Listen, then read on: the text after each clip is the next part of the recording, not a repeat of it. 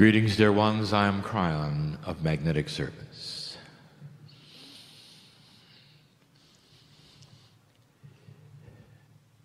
Can you feel the message? Did you hear the theme of the songs and the lyrics that were there? There's so much that can be said with music. Channeling is music. And the message is clear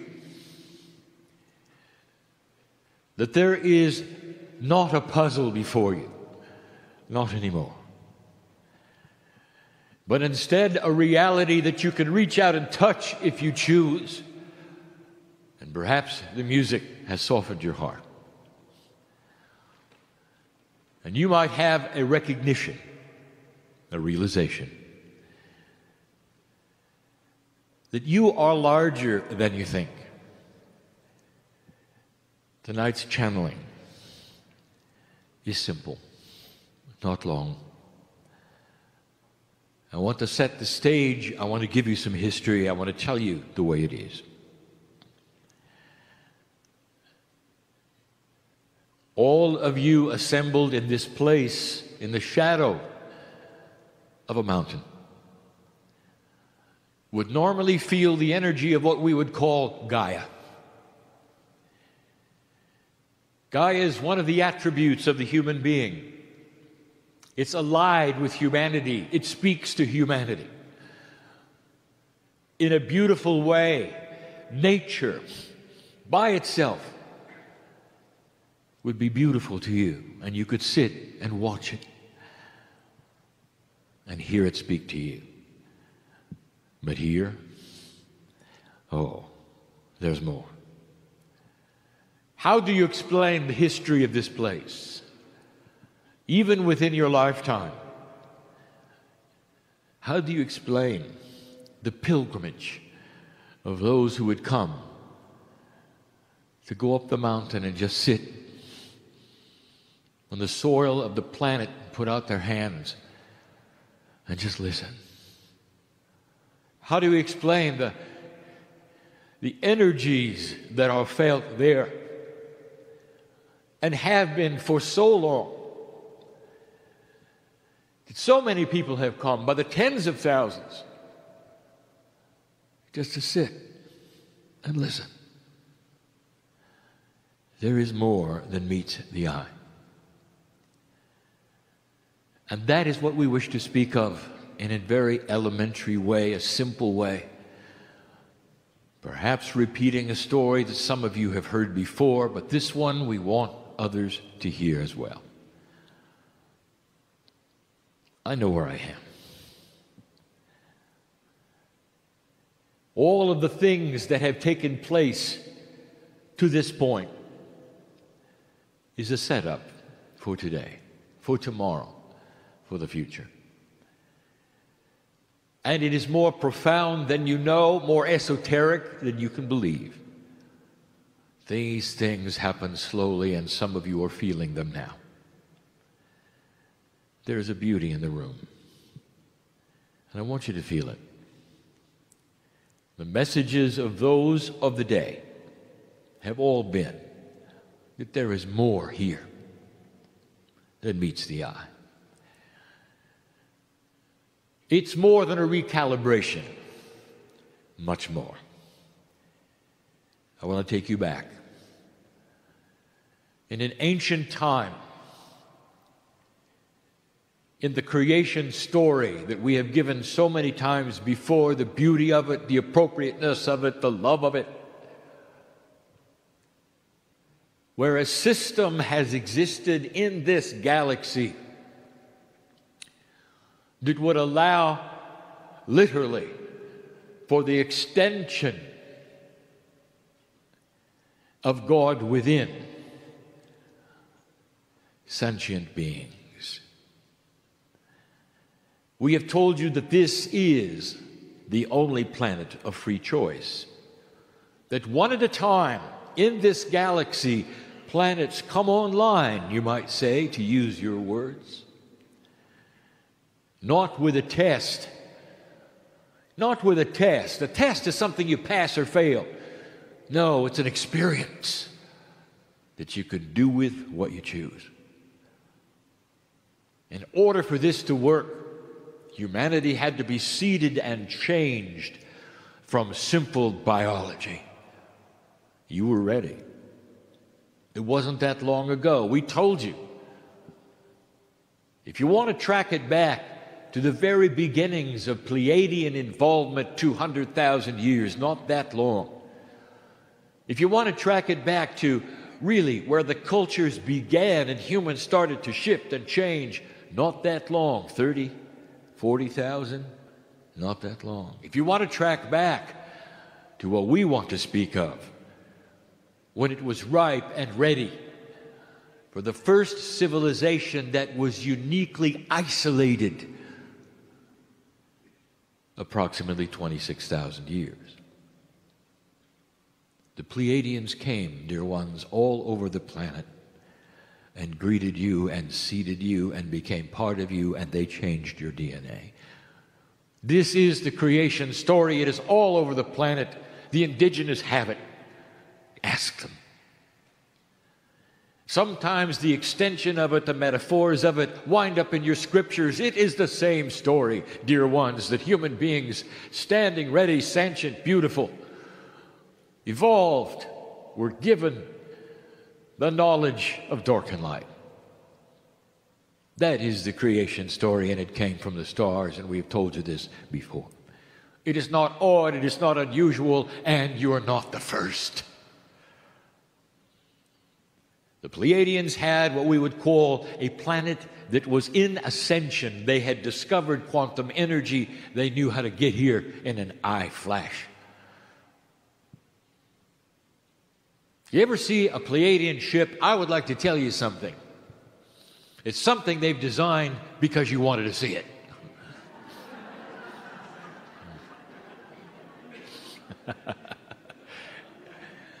they can be here in an eye flash. In an entangled state with one another, you can go anywhere instantly. And this is what you will eventually discover for this planet is ready. It begins slowly, and it did with them. They had the same kind of history you did. I want you to know this. When parents go through their childhood and they grow and they become mature, they find their partners and they have children. They impart upon their children their wisdom of what happened to them. And the Pleiadians they had the history like you did. But after a very long time, when they had turned the same kind of corner you did, when they had created peace on their planets, there's three of them, they came together and found you, the next planet of free choice. We've told you before, they had their seed parents, and their seed parents had their seed parents. If you want to take a look at your grandparents and your parents of the grandparents, you're talking millions of years before you had life as you know it on the planet. You are the new kids on the block. Life has not been here that long, and you know that. You're new. All of the history of the planet has happened so quickly. You've gone through the machinations of immaturity. You've come and gone, almost destroying yourselves four times, rebuilding, destroying, rebuilding, destroying, until it comes to this, the fifth rebuild. Only you didn't destroy. The prophecy said you would, and you did not. I am Kryon. I came here 24 years ago. Right after the harmonic convergence, right after that, which was the potential you would pass the marker, which you did. But I want to tell you the history. Lemuria, founded by the Pleiadians, was like a pressure cooker because no one could escape. And so, unlike some of the other civilizations on the planet, which were also being developed through Lemurians and through Pleiadians. Now, did you hear that right? You see, I'm going to tell you something you haven't heard before. I would like to give you a picture that you won't understand. You have heard conflicting information, even from me but it doesn't conflict. Only in 3D does it conflict. Who is in the mountain? Lemurians or Pleiadians? I'm going to give you the answer and how it works. There was a special kind of human being on Lemuria, not necessarily that advanced in certain ways not culturally advanced, beginners in human culture. They had dynasties instead of democracies,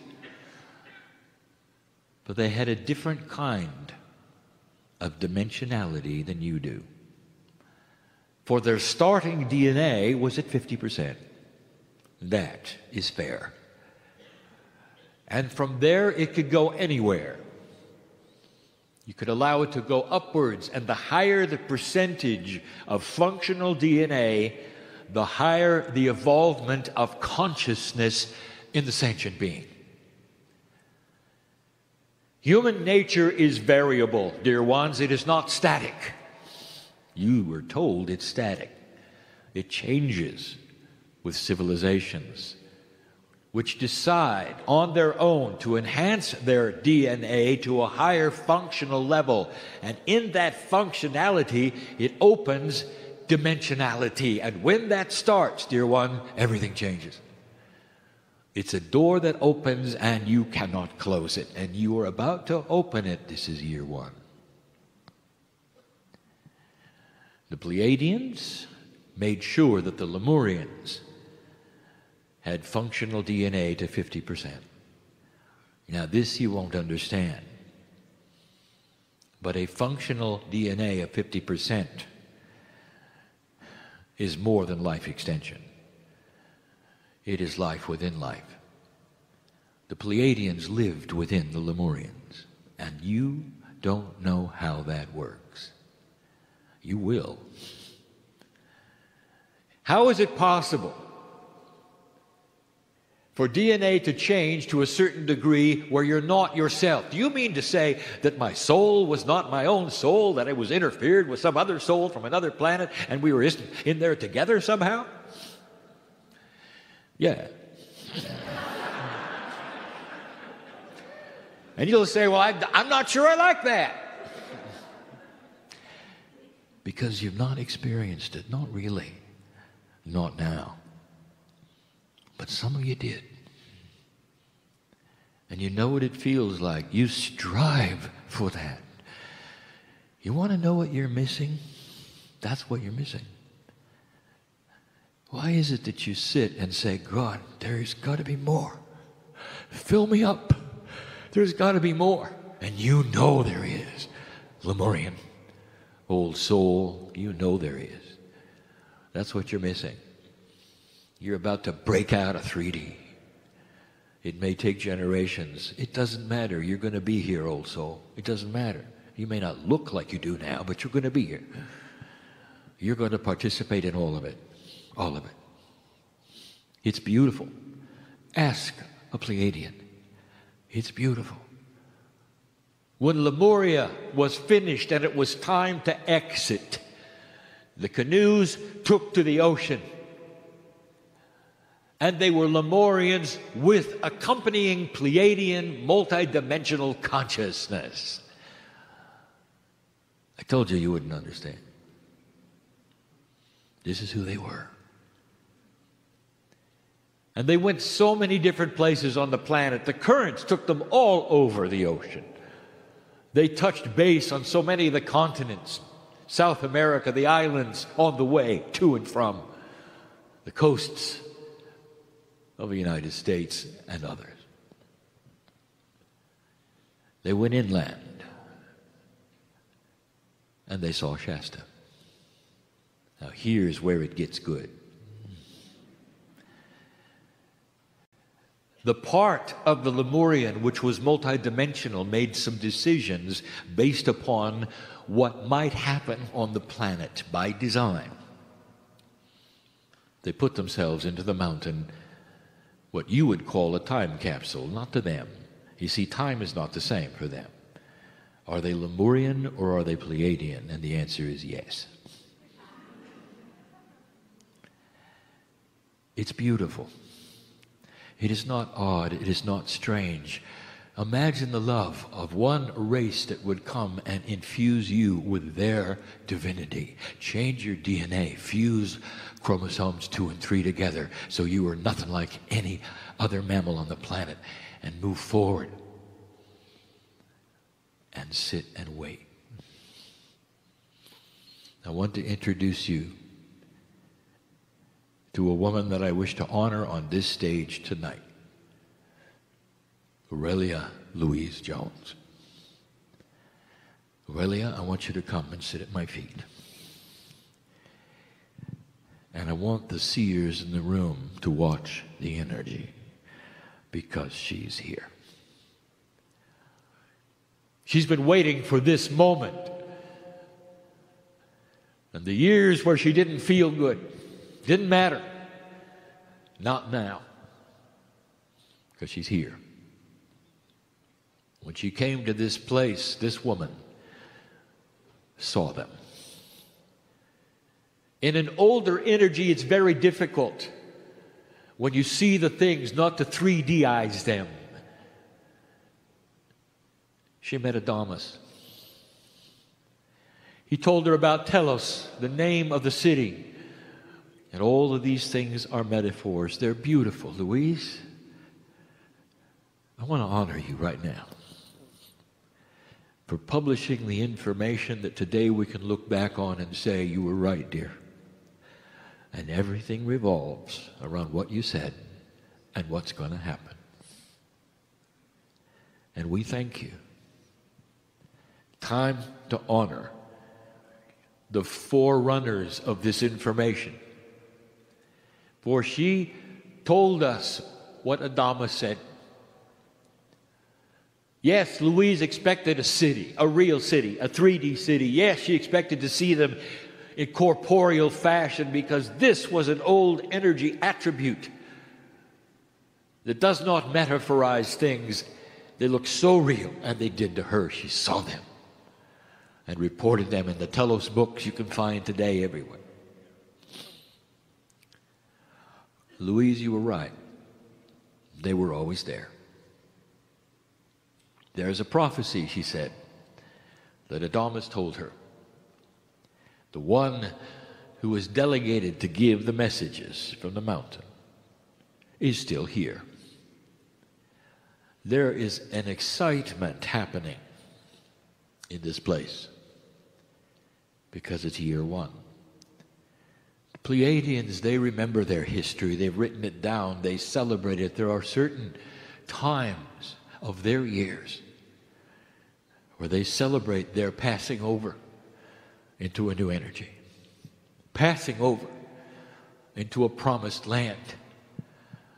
The metaphor of the city on the hill, a time that those spiritual said might happen would expect it to happen should you get to a place where you could pass over an old energy,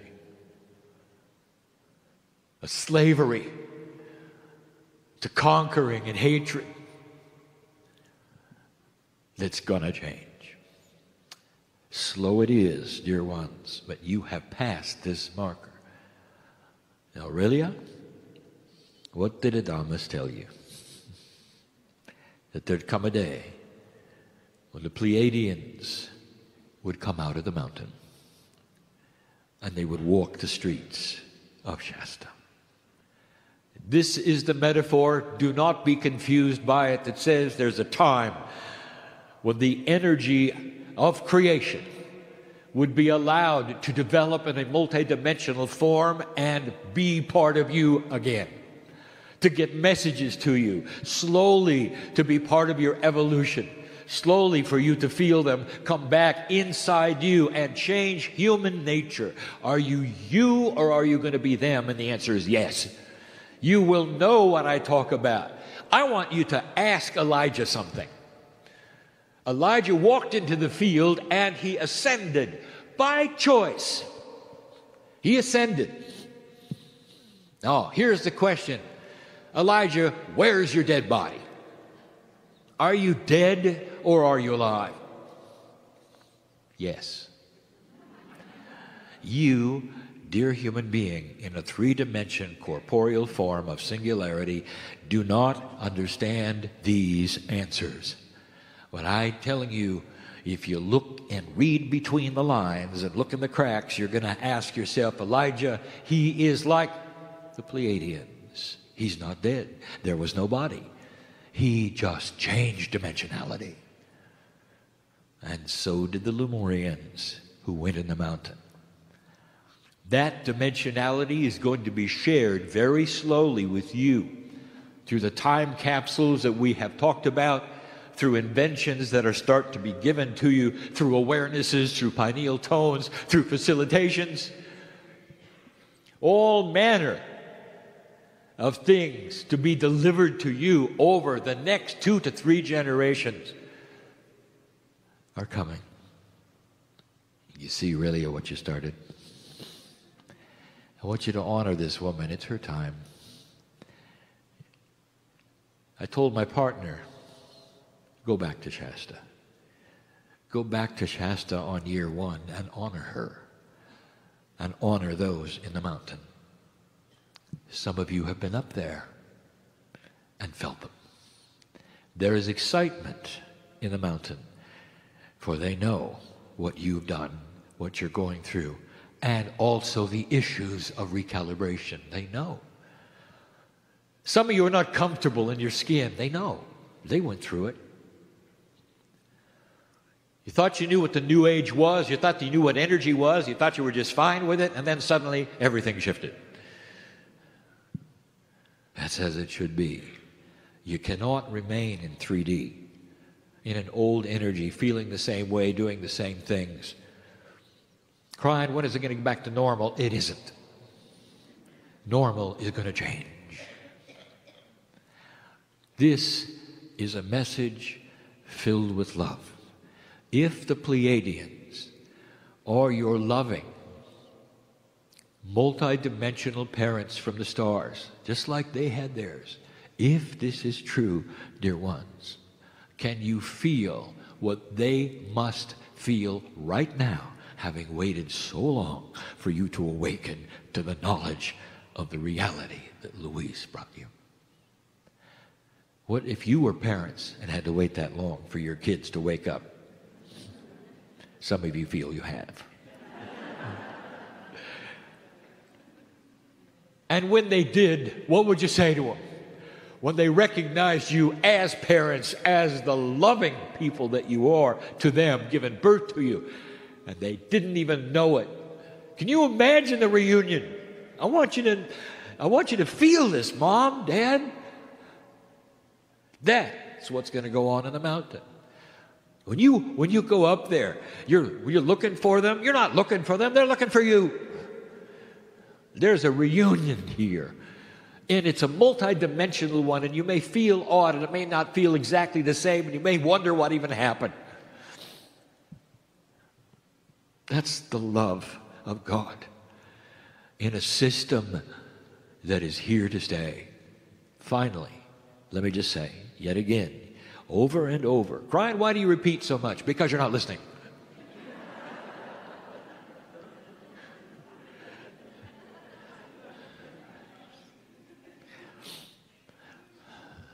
Don't measure your growth by what you see on the news. The news will change eventually. I want you to look in the cracks at the good things that are on this planet that are developing the joy, the peace, the young people not wanting to repeat what their elders have said they should repeat in hatred. I want you to look at these things clearly, esoterically, and see the truth. Things are changing. The, the ones who are invested in the old energy, in the, in the lack of integrity in all the systems you have, will try to pull you backwards. And we have told you this over and over. And that's what's going to get your attention, not the good stuff. And some of you are going to wring your hands and say, It's not true, it's not happening. And I'll say, Just relax and let it be. They haven't got a chance. This is what I want you to know. The old energy, what you would call the darkness of the way things in a lower consciousness work, will fight you. And they don't have a chance. Not anymore. I never told you that before now because the potentials were you had to pass the marker before I could tell you they don't have a chance. And now they don't. Yes, you control your own future. Yes, there is no predestination, but this snowball is rolling and it's collecting new human beings, new old souls who are awakening every single day. How many of you are here who have never been to a meeting like this before? Don't raise your hands, I already know. and what brings you here? To watch this spooky stuff man in the chair, channeling an entity from the other side of the veil with a funny name that nobody ever heard of. And yet you're here. Now, do you feel what's happening in the room? We're leaving now. We are infusing the room, however, with an entourage that's going to stay until the meetings are done, until the tones are all sung. And I want you to feel us.